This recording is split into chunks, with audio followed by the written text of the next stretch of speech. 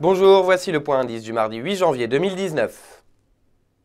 Après avoir fortement progressé durant la séance de vendredi, les indices mondiaux sont restés sous pression hier dans l'attente d'informations sur la rencontre Chine-USA à Pékin.